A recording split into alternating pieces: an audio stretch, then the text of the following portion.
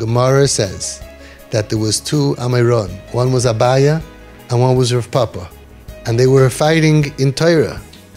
Okay? And every time Abaya said something, you're not going to believe me. You have to look it up. You're not going to believe this. Every time Abaya said something, Rav Papa got him back and, and, and won the match. And he came back at him with another svara, another thing, and Rav Papa. Abaya says, It seems to me that the reason why you're sharper than I am is because you have parents who care for you. Abaya was a yasam, he didn't have parents. So we think like, oh, these stupid American kids need to know mommy loves you and da- daddy loves you.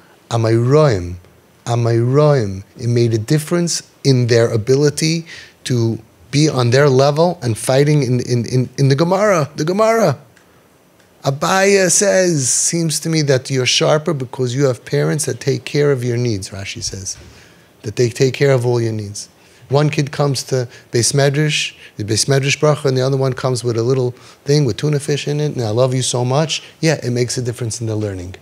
Isn't that unbelievable? Am Amayraim. It's not this stupid American kids need their parents' love. So it, it's for the kids who are from, they need to know I'm proud to be your father. I'm proud to be your mother. I got your back. I'm with you. I love you. This generation needs it. There's a self esteem crisis. Even chashava kids doing well have low self esteem, have tzebrachenkite. And each kid on his level needs this type of medicine.